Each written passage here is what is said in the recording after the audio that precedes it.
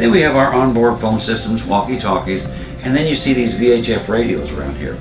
Those uh, are very important because out here, uh, passing is a planned event.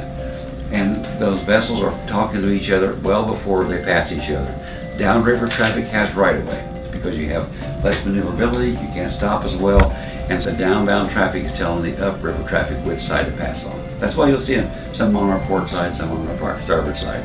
We are downriver down to New Orleans, so uh, those vessels coming upriver, our pilots have instructed them when and where to pass and, and which side to pass on.